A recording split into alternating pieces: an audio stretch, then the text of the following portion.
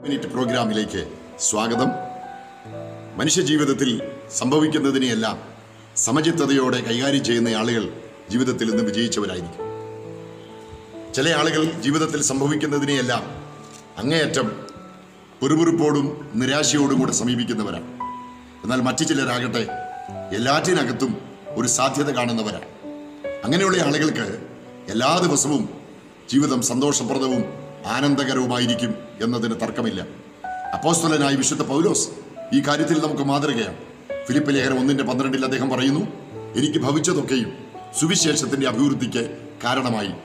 ജീവിതത്തിൽ എന്ത് സംഭവിച്ചാലും അതിനകത്ത് ദൈവഹിത പ്രകാരമുള്ള സാധ്യതകൾ കണ്ടെത്തുന്ന മനുഷ്യൻ അതിനെ നന്മയ്ക്കാക്കി തീർക്കാൻ കഴിയുന്ന മനുഷ്യൻ ഭാഗ്യവാനാണ്.